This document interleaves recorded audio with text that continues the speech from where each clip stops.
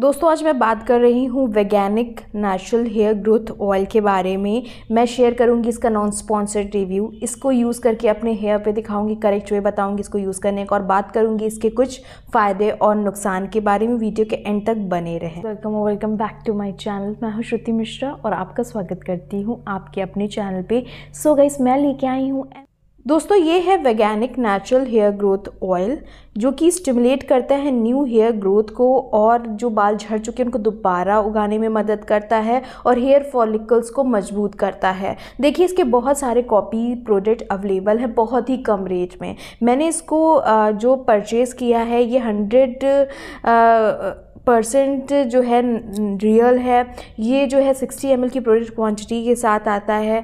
इसमें दोस्तों मैंने पे किए हैं थ्री हंड्रेड रुपीज़ जो कि इसका बाइंक लिंक मैं डिस्क्रिप्शन बॉक्स में दे दूँगी। इसका कार्डबोर्ड बॉक्स मुझसे मिस हो गया था। मैं इसको काफ़ी दिन से यूज़ कर रही हूँ। देखिए, ये जो है मेरे पास इसकी सेकेंड बॉटल है। ये करता क्या है? ये प्रमोट करता है हेयर ग्रोथ को प्रमोट करता है फुलर एंड डेंस हेयर को। इसमें इंग्रेडिएंट जो है वो है rosemary oil avocado oil coconut oil olive oil lavender oil almond oil and इसमें कैस्टर ऑयल का ये मिक्सचर है। तो ये काफ़ी सारे ऑयल्स का एक कॉम्बिनेशन है। दोस्तों, ये जो प्रोडक्ट है, ये जो है, ये मेड इन इंडिया प्रोडक्ट है। ये देखिए, इसकी शेल्फ़ लाइफ जो है थ्री इयर्स की है। आप फ़र्स्ट टाइम इसको यूज़ करते हैं तो पहले पैच टेस्ट कर लें, फिर कोई भी प्रोडक्ट अपने हेयर पे, अपने स्किन पे, अपने स्कैल्प पे यूज़ करें।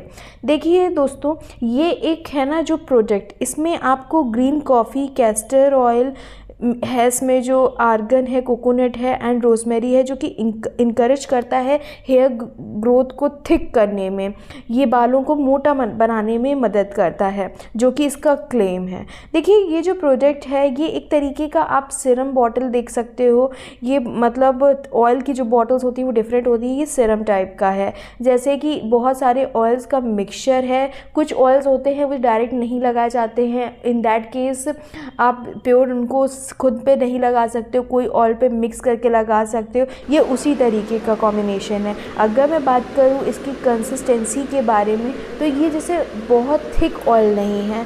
ये एक लाइट वेट ऑयल है रनी कंसिस्टेंसी है और फॉर्मूला जो है लाइट वेट है। तो जिनका ऑयली स्कैल्प है, उनके लिए ये परफेक्टली वर्क कर जाएगा। आप देख सकते हो कितना लाइट है, कितना तेज़ ये गिर रहा है और ईज़िली स्कैल्प में एब्जॉर्ब हो जाता है। इसमें कहते हैं कि आप दिन में दो से तीन बार यूज़ करें। देखिए, मैं तो इस तरीके से यूज़ नहीं करती हूँ। मैं तो हेयर वॉश करने से पहले इसको ले लेती हूँ और स्कैल्प में लगा लेती हूँ। जैसे दोस्तों स्कैल्प में मसाज कर लेती हूँ, क्योंकि मेरी जो स्कैल्प है ओवर ऑयली है। अगर मैं दिन में दो तीन बार यूज़ करूँगी तो मुझे उतना ज़्यादा फ़ायदा नहीं करेगा और इवन मेरी ऑयली स्कैल्प एक्सेस में ऑयली हो जाएगी, जिससे बाल और झड़ने लगेंगे। देखिए, मैं इसको अच्छे से डीपली मसाज कर लेती हूँ और मैं अपनी जैसे इसमें बताया नहीं गया कि आप हेयर लेंथ में यूज़ करो, लेकिन मैं इसको हेयर लेंथ में भी लगा लेती हूँ, क्योंकि मेरे बाल जो है बहुत ड्राई हैं।